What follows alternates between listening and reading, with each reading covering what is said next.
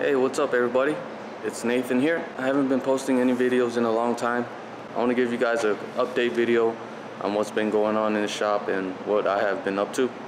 Um, so the first thing is that I've renovated the shop a little bit.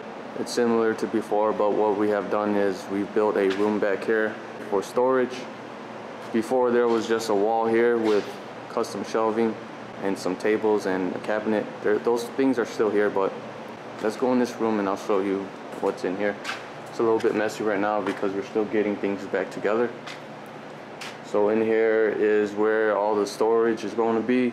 So none of that will be out here if it's not necessary. Keep things clean out on the floor. And then uh, here's the area where we're putting a toilet. This is what happens when you hire people. You need to have a toilet for them. It's part of regulations. Yo, Frank. What up? What's up, man? Sweating? Anyways, um, oh yeah, that's, this is Frank. He's been working for me for a few weeks. Say what up, Frank. Hey, how's it going? yeah, the bike ride, the bike ride gets me ready before work Oh yeah. to get a nice sweat in. Look at all that sweat, man.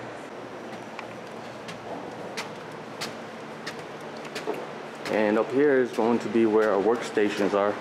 Not completely finished, obviously. Table for our engineer. And here's my desk. And all of this is just temporary right now. That's where we're at in the shop. We got this upper level, this mezzanine built up uh, where we can do work on the computers. Got an engineer working for me. Um, that's my table over there. We got Frank down there. He's a floor guy. He's a general fabricator. And uh, that's where we're at with the shop right now. Got to get this upstairs. Did a little bit of garbage picking. Saw this on the side of the street. It's still in good condition. It's a metal cabinet. We're gonna use this as uh, Tuman's desk. Tuman is the engineer because the desk he's on is pretty janky right now. So, uh, free 99 ain't bad. So we're gonna get this upstairs.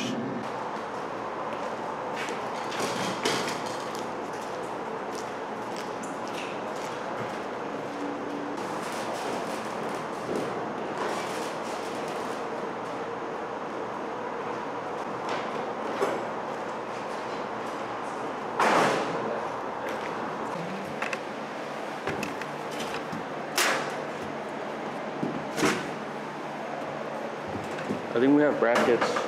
You know those in those little drawers I have. I have some some L brackets. You have some uh, uh, some self-drilling screws. Um, This part is accurate. Um, this part, there's multiple ways we could do it. We could do a suspension system or something down here. mhm. Um, Did you measure this on the bike or no? this? The suspension part. No, I didn't measure this No? part. Did you get the full length of it though? I used your uh, this thing. Okay, so that's just like generic. Work on this part right here where you, where it's supposed to transition over the gooseneck. How is this going to transition? Because it's cut is wider over here and then it's thinner right here. So how is it going to transition? Because it's going to go like this and then it's going to go wide out like that. So I have to fix fix this, but this is supposed to be a straight line. Okay. Um, Well, I think that should yeah that should be straight. It Yeah. shouldn't oval it shouldn't oval out like that, or it shouldn't be wide. Wider over here than over there. oh, so you're saying this this this this part should be thinner? Yeah, it should So match. so it's it- straight. yeah, it should match that. Okay. Can you do a 360 of the of the entire bike with the wheels and everything?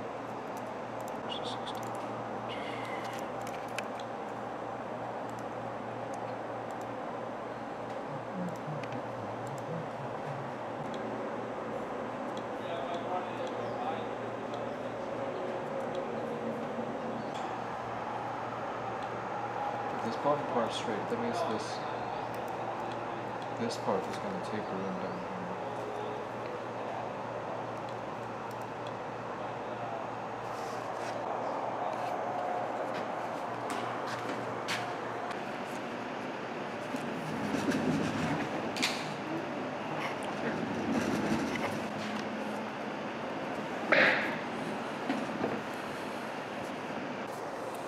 So it's towards the end of the day and uh, Tumin and Frank has left.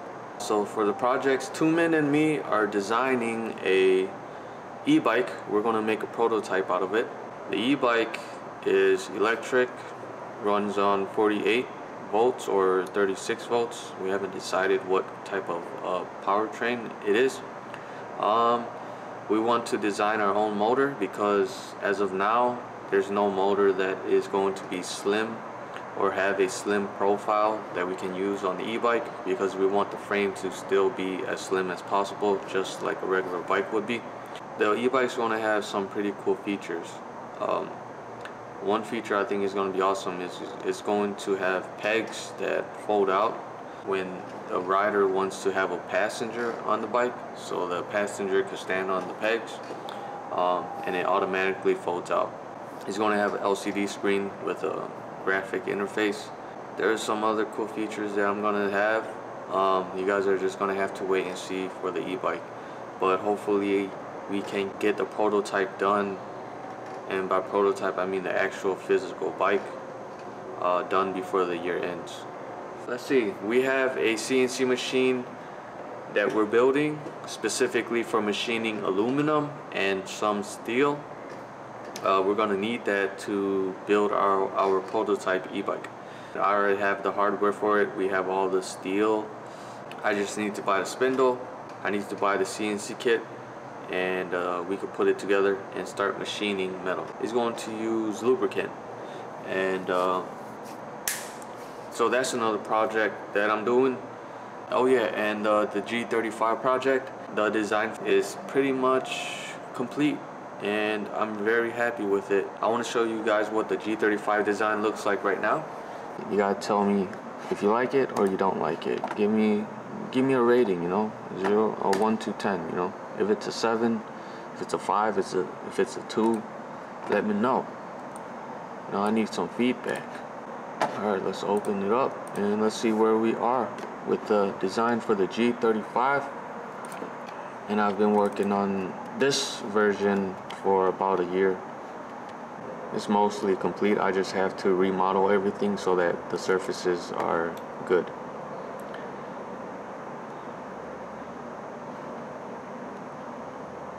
I'm I'm really excited to start building this.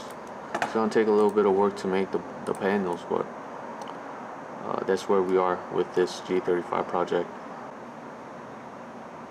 All for that car out there. It looks terrible. You look terrible right now. Jeez. I'm pretty excited about mm, taking this to the next step and fabricating the body for it because I've fabricated a lot of bodies. I've I haven't once fabricated a body for myself in my own project, so it's about time. It's about time. So uh, that's it for the G35 design. As you can see, it's mostly complete. I think it looks beautiful. Tell me what you think about it. Um, and yeah, and that's going to wrap up the day for me and the Inspire Automotive Garage. I'm going to pack up and head home. And you know what? That's not it for me because when I head home, I'm going to I'm to finish up modeling the G35 kit. But uh, my time here in the shop for today is done. I hope you guys like the build out. I have to put railings right here very dangerous. Someone, if someone trips, they're gonna fall on the CNC machine. I can't have anyone messing up my CNC machine. I don't care about people injuring themselves. Got, got to take care of the CNC. Gotta, got to put some railings to protect it. You know. Tuman desk. He just got this today. This is this is a this is an engineering desk. This is this is like the desks that. Uh, people that worked at NASA in the 90s used to have. That's legit right there. Then uh, I just put this table over here for Frank if he wants to come up here. We're gonna get a computer for him because he wants to learn how to 3D model. And I think um, it shouldn't be too hard to teach him how to teach him the basics. And then here's my, my workstation. The, the best thing about this is that I got the radio. I could listen to music. It's awesome. I'll, I'm intending to keep this shop space, but I'm also intending to expand somewhere to get a bigger shop because as of now, right now, it's just too small to do big things. You know what I mean? I mean, I've been doing big things in here for a while, but I mean, really, really, really big things. And uh, to do big things, I need big machines, and I need more people, and uh, I need more space. So uh, this space here, I'm going to keep. This is the Inspire Automotive garage as of now. We got our desk up there. We got an engineer. We got a fabricator. And uh, let's see where we can go. I'll see you guys next time.